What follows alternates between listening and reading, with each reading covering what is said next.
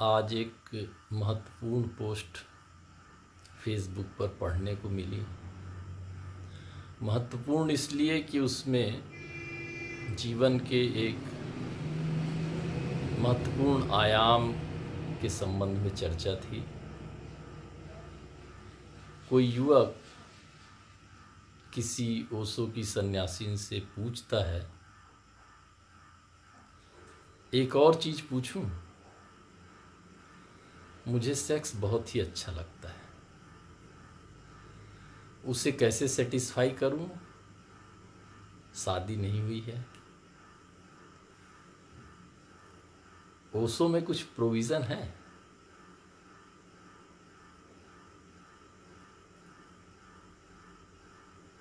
इसका उन ओसो सन्यासी ने अपने स्तर पर अच्छा उत्तर दिया।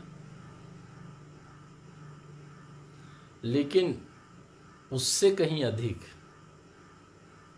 यह प्रश्न महत्वपूर्ण है और प्रासंगिक है। सबसे पहली चीज़ इसमें यह सोचना है, इस पर विचार करना आवश्यक है। ये प्रश्न पूछा क्यों गया? है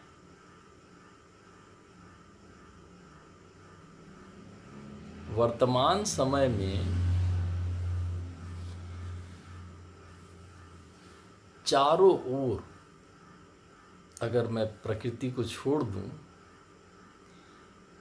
तो पूरी तरह कामोद्दीपक वातावरण है। चाहे वो विज्ञापन हो, चाहे पहनने ओढ़ने का ढंग सलीका हो और भी बहुत सारी चीज़ें हैं। और इस सब के चलते एक युवक जिसके अंदर काम का ज्वार उठ रहा हो तो वह अगर यह प्रश्न करे तो पूरी तरह प्रासंगिक है। समझने जैसा है, ध्यान देने जैसा है।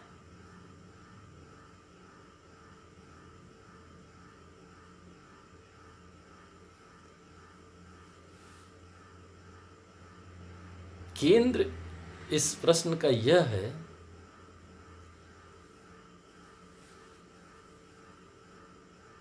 कि किसी युवा के अंदर जब सेक्स की ऊर्जा बलवती हो, उबाल मारने लगे तो उसके पास उसका विकल्प क्या है? यद्यपि समाज काफ़ी खुलेपन की ओर बढ़ रहा है, लेकिन सेक्स की जो समझ है, वह उस स्तर पर संभवतः नहीं है, जिस स्तर पर पहले थी। मैं उस प्राचीन भारत को याद करता हूँ, जहाँ हमने सेक्स को दिव्यता प्रदान की, उसे समझने के लिए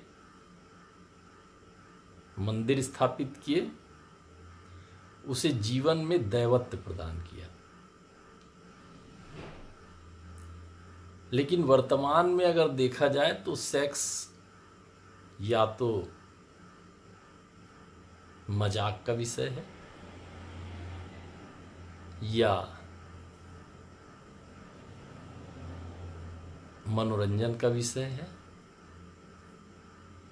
और उससे आगे बढ़ें तो व्यापार।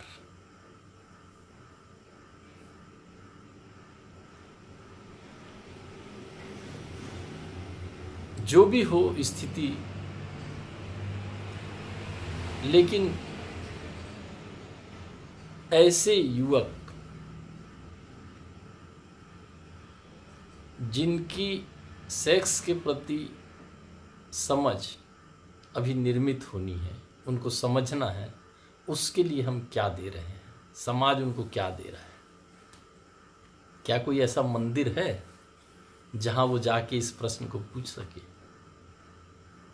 जहाँ वो कह सके कि हाँ मेरे पास ये काम ऊर्जा है, इसका मैं क्या करूँ? वो किसी मित्र से पूछता है, इंटरनेट पर खोजता है अधिकांश जानकारियाँ अधकचरी हैं, उस स्वरूप में नहीं है जिसमें उन्हें होना चाहिए। या तो नितांत मेडिकल साइंस पे आधारित है,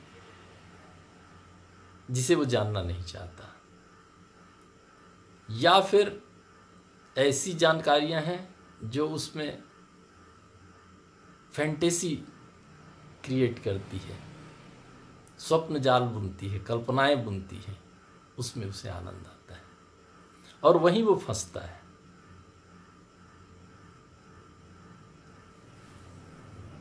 अब अगर ऐसे में उसे कहीं संभावनाएँ दिखती है कि यहाँ से मुझे कोई उत्तर मिलेगा, कोई प्रत्युत्तर मिलेगा, कोई प्रतिक्रिया मिलेगी, वहाँ से अगर वो कुछ पूछता है तो उसमें बुरा क्या है?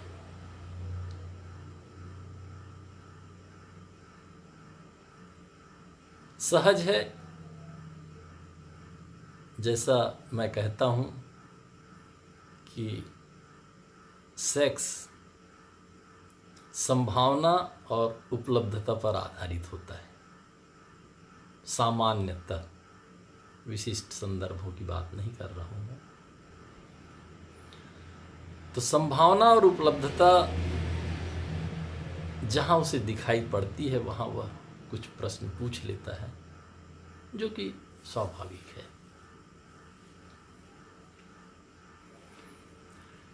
इसमें सबसे पहला काम है, वो है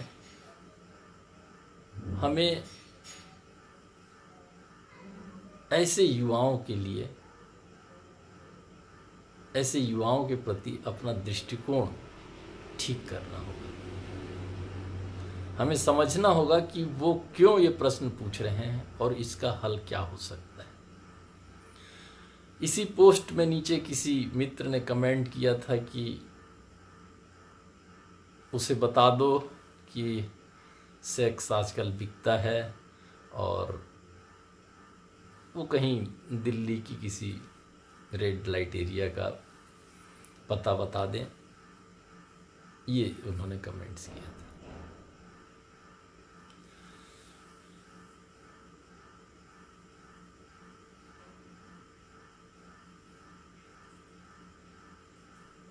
ये रेड लाइट एरिया अगर सेक्स का समाधान होते तो कब का दुनिया में सेक्स का समाधान हो चुका होता? बहुत दिनों से ये, इसे शाश्वत व्यापार भी कहा जाता है, जारी है, और लोग इसमें लीन भी हैं, संलग्न भी हैं। कुछ देश तो इसको मान्यता देते हैं, कुछ देशों में इसकी मान्यता नहीं है। अपनी अपनी समझ है अपनी अपनी संस्कृति है अपनी अपनी सोच है। लेकिन वेश्यावृत्ति कहें, मुझे ये शब्द अच्छा नहीं लगता शायद देह व्यापार कहें, यह भी अच्छा नहीं लगता, पर शब्द है इसका प्रयोग, संदर्भों के अनुसार किया जा सकता है।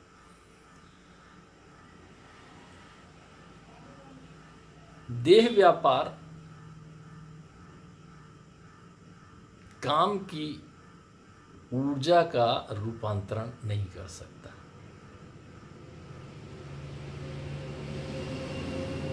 क्योंकि यह व्यापार है और इसमें पैसे के लिए कुछ उपलब्ध किया जाता है और उसका आधार होता है पैसा, धन। जो आपको मिलता है वह धन के अनुपात में होता है। लेकिन जिस तरह से उसका प्रश्न है कि इसको कैसे सेटिस्फाइड करूँ इसका हल उसे नहीं मिलेगा। तो वेश्यावृत्ति में भी या देह व्यापार में भी इसका हल नहीं है। एक शाश्वत हल खोजा समाज ने, वो है विवाह।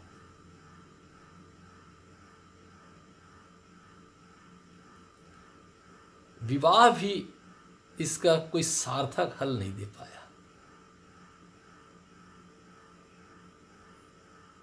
अगर विवाह सार्थक हल होता तो अभी तक सब निष्काम हो चुके होते सेक्स सेटिस्फाइड हो चुका होता।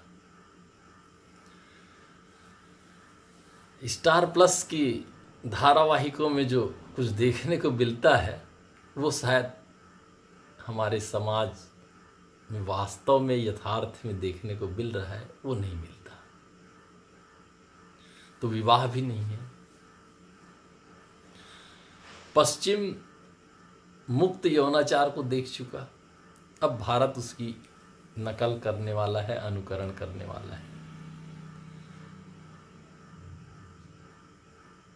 जर्मनी और थाईलैंड इसे जी रहे हैं इस जीवन को। और कुछ देशों ने प्रतिबंध लगाकर भी देख लिया। कड़े प्रतिबंध लगा दो मृत्यु दंड दे दो, वह भी करके देख लिया। कहीं हल नहीं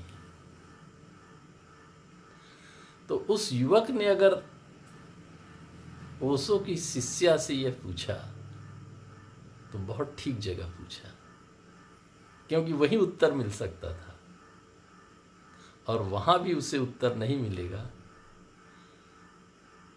तो फिर इसका सही उत्तर कहीं नहीं। और उस पूरे उत्तर को मैंने देखा तो वास्तव में उस युवक की प्रेमपूर्ण ढंग से निंदा की गई थी।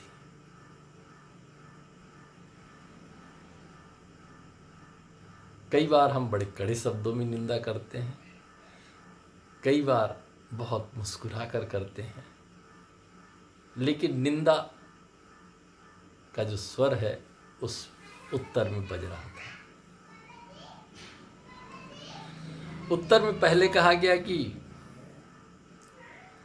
ओसो से जुड़ोगे तो सेक्स जाता रहेगा।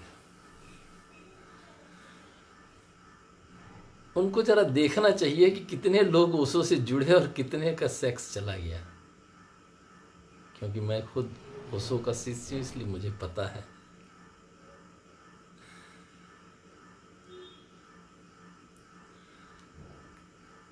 दूसरा बोलते हैं कि ओसो में बाहर सेक्स दिखाई देता है लोगों को, भीतर जाओ तो नहीं है। सच तो यह है कि इस पूरे घटना चक्र में, इस पूरे प्रश्नोत्तर में ओसो को घसीटा नहीं जाना चाहिए। और वो इसलिए आ जाते हैं कि उन्होंने सेक्स पे बात की, उनकी संभोग से समाधि की ओर। सीधी सीधी बात थी। इसलिए वो जहाँ भी सेक्स की बात होती है, उसो को खींच लाया जाता है।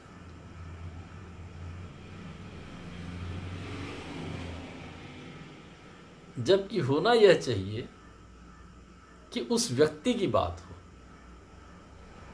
जो ये प्रश्न पूछ रहा है, उस व्यक्ति से बात हो, जो इसका उत्तर दे रहा है। क्योंकि हम दोनों की समझ महत्वपूर्ण है, पूछने वाले और बताने वाले की। ओशो के संदर्भ ग्रंथ हैं, प्रवचन हैं, वो अपने आप में महत्वपूर्ण है। लेकिन संबंध हमारे और पूछने वाले और बताने वाले के महत्वपूर्ण है। उस तल पर चर्चा हो। फिर उन्होंने इसी उत्तर में कहा, क्या बकवास है? लोग ओसो में सेक्स ढूंढते हैं। स्वाभाविक है। जब ओसो ने सेक्स पर बात की तो लोगों को वहाँ संभावना दिखी। और वहाँ ढूंढना स्वाभाविक है। ओसो कहते भी हैं कि मैं मेरा आश्रम एक चिकित्सालय है, यहाँ तरह तरह के बीमार लोग आएँगे। और मैं चिकित्सक हूँ, यहाँ उनका इलाज होता है।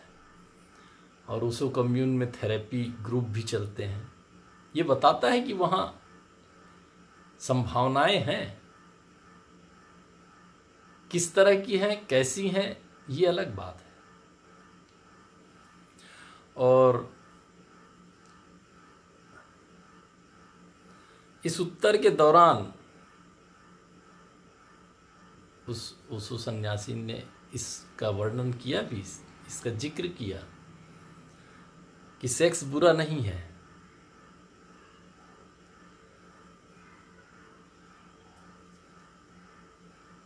और दबे ज़ुबान वो इसकी निंदा भी करती रही। ओसो के अस्पताल में सेक्स की इच्छा से नहीं, सेक्स के इलाज के लिए आए बड़ा अद्भुत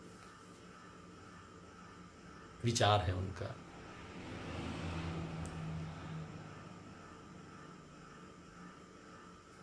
जब आपको यह लग रहा है कि सेक्स की इच्छा ही बीमारी है तो उसे तो जाना ही पड़ेगा उस अस्पताल में। पूरे समाज में सेक्स की इच्छा को ही बीमारी मान लिया गया। तो अब कहाँ जाए मैं अक्सर मज़ाक में कहता हूँ, पर यह एक बहुत कड़वी सच्चाई है कि जब बच्चा विद्यालय में जाता है या उससे पहले भी लें तो आस पड़ोस में जितनी लड़कियाँ हैं, उनसे कहा जाता है ये दीदी हैं, बहन हैं। विद्यालय में जाता है तो जो लड़कियाँ हैं, उन्हें कहा जाता है कि ये बहनें हैं तुम्हारी। सरस्वती शिशु मंदिर तो ऐसी विद्यालय हैं जहाँ बाकायदा राखी बंधवाई जाती है। फिर जब युवा होता है, काम काज में लगता है, अपने कार्यालय में जाता है तो वहाँ भी युवतियाँ हैं तो उन युवतियों के प्रति भी वो किसी से पूछ भी नहीं सकता। भारत में तो किसी से काम निवेदन करना ही अपराध है। सेक्स एक्सप्लॉयटेशन है।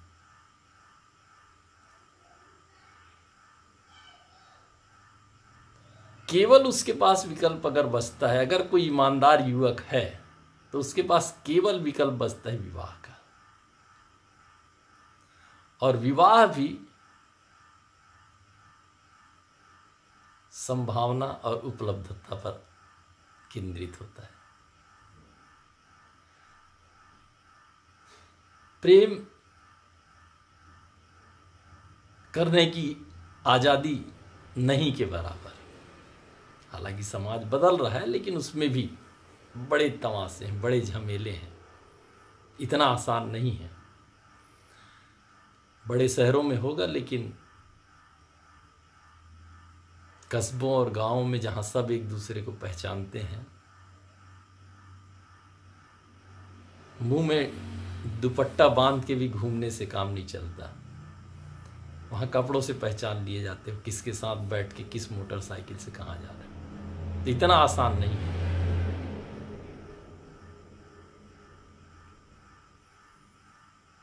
किसी के साथ हँसते बोलते देख लिए गए तो सारे गाँव में चर्चा हो जाती है।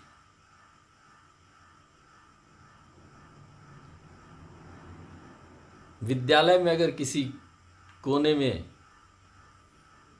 एक युवक युवती चर्चा कर रहे हैं, सारे लोग वहाँ का स्टाफ से लेकर के स्टूडेंट तक। एक अलग दृष्टिकोण से दोनों को देखने लगता तो ऐसे में उस युवक के पास विकल्प क्या है? समाज क्या विकल्प दे रहा है? उसके अंदर जो काम की ऊर्जा बलवती हो रही है उबाल मार रही है। उसके लिए क्या विकल्प है? उसके पास क्या विकल्प है? कहाँ जाए वो? किससे पूछे? एक, किसी मित्र ने उसी में एक कमेंट कर दिया है। बड़े अच्छे ओसो टाइम्स या ओसो वर्ल्ड किसी किताब के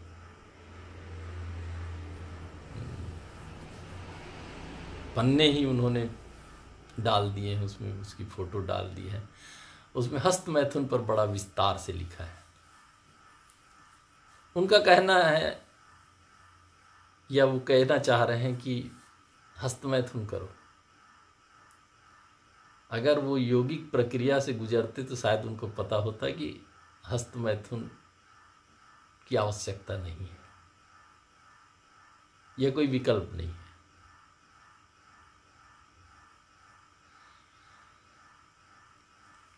उसी में किसी एक महिला ने कमेंट किया है कि हम ओसो की सन्यासीन को लोग प्रोस्टिट्यूट समझते हैं।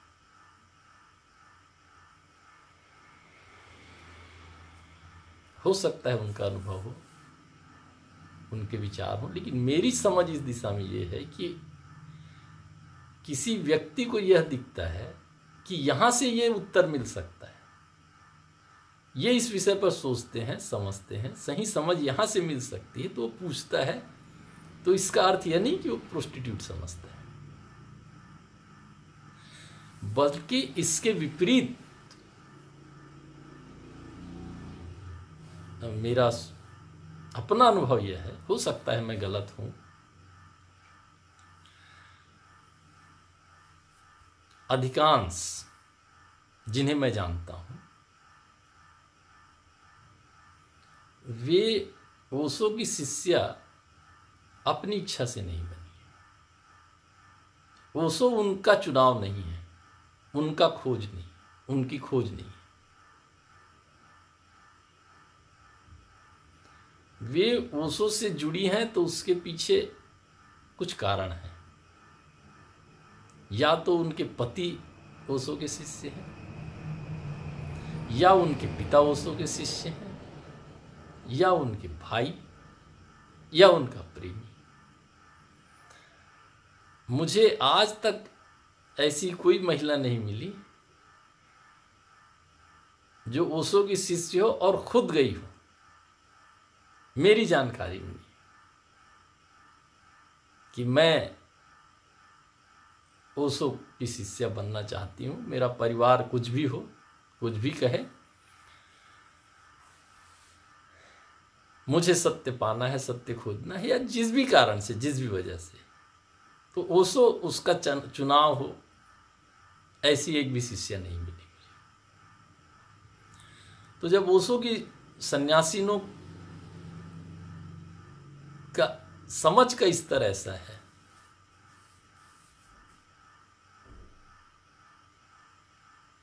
तो उनसे इस चर्चा, इस तरह के प्रश्न पूछने पर सार्थक उत्तर की अपेक्षा नहीं की जा सकती। मैं अपने अनुभव से कहता हूँ कि आज भी अगर मैं किसी ओसो की शिष्या से सेक्स संबंधित बात करने बैठ जाऊँ, कितनी भी स्वस्थ हो, चर्चा हो, वो असहज महसूस करेंगे। क्यों? जब उनका ये स्तर है तो बाकी जगह तो जगह ही नहीं बची। बाकी से तो बात ही नहीं कर सकता। तो यहाँ से फिर यह दुष्चक्र शुरू होता है और जिसमें पूरा समाज संलग्न है। और दुख की बात यह है कि कुछ नहीं किया जा सकता। हाँ यदि कोई व्यक्तिगत रूप से जुड़े खोजे ईमानदारी से। होगा कुछ। कई बार इधर उधर हाथ पैर मारे जाएँगे। कुछ गलत परिणाम भी होंगे, लेकिन मिलेगा। और मैं ये अपने अनुभव से कहता हूँ कि अगर खोज सार्थक है, निष्ठा से भरी हुई है तो सही दिशा में ज़रूर हल मिलेंगे।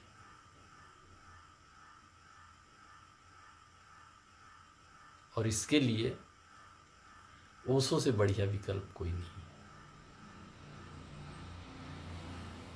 क्योंकि ओसो मेरी जानकारी में पहले ऐसे गुरु हैं जिन्होंने तंत्र को इतने सार्थक और व्यापक और सटीक ढंग से मनुष्य के सामने रखा। और मैं युवाओं से ये अपेक्षा करता हूँ कि वे तंत्र का अनुगमन करें। योग को साधें। योग युक्त हों। फिर ये सारे प्रश्न अपने आप तिरोहित हो जाएँगे। धन्यवाद।